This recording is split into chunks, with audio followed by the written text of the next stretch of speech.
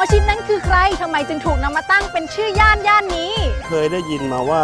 เขาเป็นคุณหมอคนหนึ่งอะฮะ คนเก่าคนแก่เขาชื่อตาชิดชิดนี่เขาทำอะไรคะ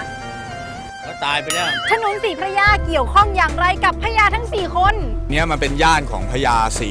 สมัยรัตนโกสินทร์อะไรเนี่ยครับเจ้าพญายามั้งคะพญาติดตามหาคำตอบได้ในเรื่องนี้มีอยู่ว่าวันเสาร์และวันอาทิตย์เวลา8นาฬิกาในห้องข่าวสุดสัปดาห์ทาง TNN 24 ค่ะ